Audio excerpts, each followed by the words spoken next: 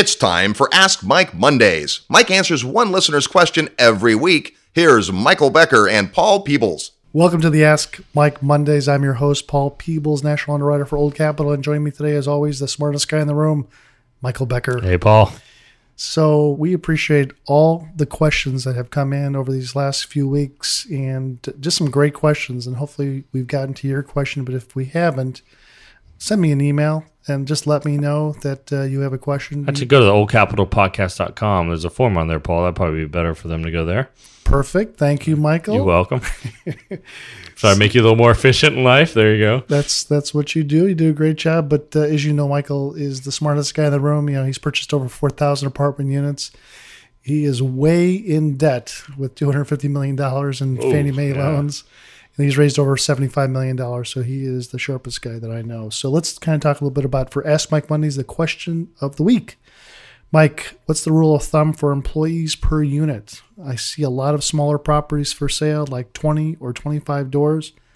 How do you make money on the smaller properties? Yeah, that's certainly a challenge a lot of people have. So the the smaller these deals, the less efficient they are. So that's just kind of the nature of the beast. The general rule of thumb that we use is usually somewhere between 80 to 100 units. You get one full time employee in, one full time employee out per every 80 units, or 80 to 100. So what does that mean? That means you have one person in the office and then one maintenance person on uh, per every 80 to 100 units as a general rule of thumb.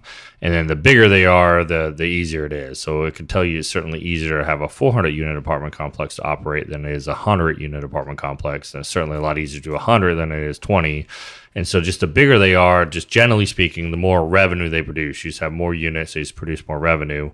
So then you can afford to hire more staff and more than even just more staff you can afford to hire better quality staff. So you can have you know, a manager that makes sixty plus thousand dollars a year, have an assistant manager, leasing agent, maybe a part-time leasing agent.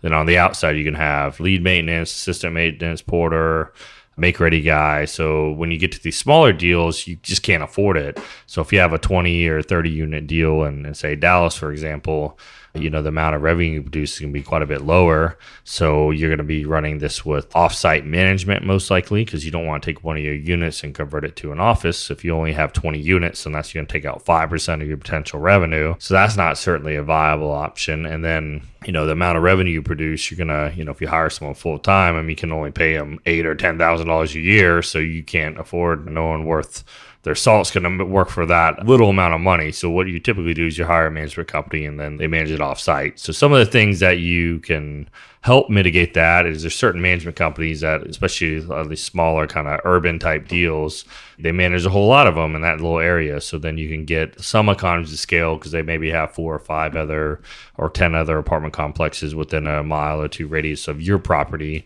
So when you're if you're looking to buy something like that you need to kind of figure out well how the heck am i going to manage it? Who's in the area? Who's doing a good job? And that's kind of where you start for management. Some of the other things so usually when you manage with offsite your payroll might be a little bit lower because you don't have necessarily the on-site staff your management fee certainly is going to be higher.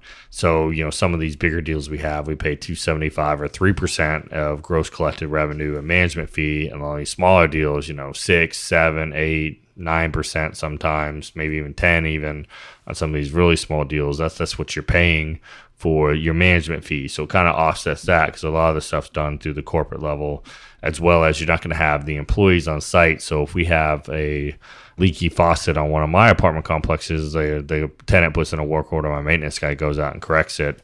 Now, then they have to then go schedule and then go to the site if you have a small deal or your contract services go up quite a bit because my maintenance guy can do, change out a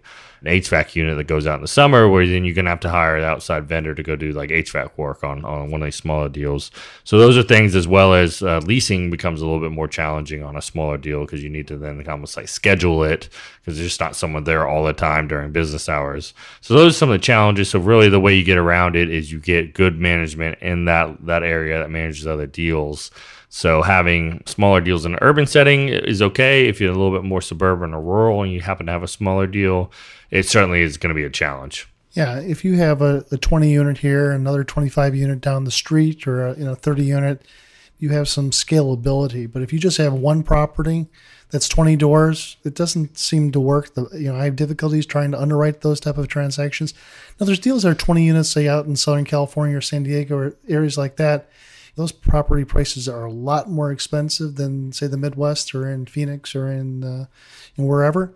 So, you know, you may have a lot bigger rents of two, three thousand dollars a door, but you got to put down 35% just for the cash flow. In areas, the rest of the country, that uh, we can go up to higher leverage, up to say 80% in some of these deals. So you can pay for it here or there. So my suggestion really is, is, is try to find a larger building, try to find a larger acquisition if you can, so it's scalable for you know, having a, a, management company. Yeah, these small deals are okay. They kind of, I think we refer to them as like starter properties. So that's how you got to start out, you get in, you get out. But usually when you buy one of these, more times than not, one of two things are going to happen. Either you're going to get into it, love the business, and want to sell it immediately and scale up, or you're going to hate the business, you want to sell it and go away and never buy it again. So it's usually these properties tend to turn over pretty often, generally speaking, at least in, in Texas where we operate and live. Yeah, quite a bit. I mean, the, the, smaller properties. I mean, you may see that deal trade five times in ten years, or five yeah. times in you know twelve or thirteen years. They do trade frequently, so they are good starter properties. And, and another thing too. So I, I I I harken back to a story from a year or two ago when I you know I made a loan on I think it was a 32 unit deal back several years ago, and it was a it was a bank financing that was open prepay and then someone comes in and buys it a year, year and a half ago, and they go put a Fannie Mae loan on a 30 unit deal in an okay part of town, but a C class deal.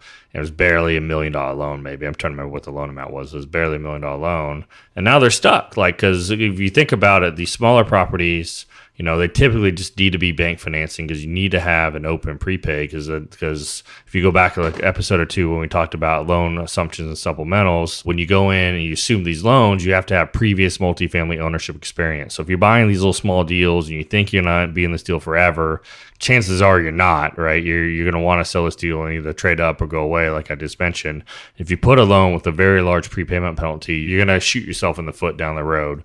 So if you're going to get in these deals, more likely than not, you're just going to have to suck it up and take a recourse loan because these non-recourse loans are just not the right product in most cases for these deals. So that's just uh, my two cents. I like your two cents.